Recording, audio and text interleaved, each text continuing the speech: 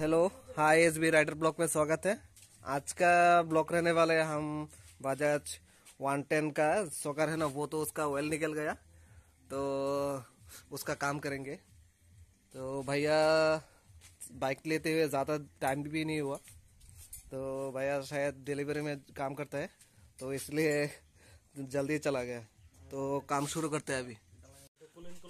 सोकर को पूरा खोल लिया है तो इधर पुलर पे लगा के उसको रिफिल को निकालेंगे फिर इसको नया रिफिल डालेंगे।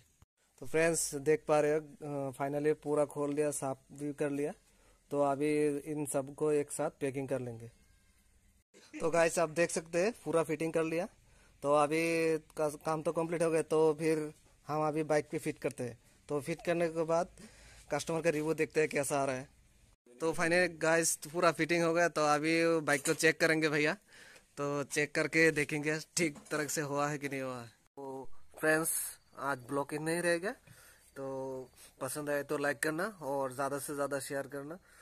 और आशा करते हो, सामने और भी अच्छे अच्छे ब्लॉग लाऊँगा आप लोगों के लिए।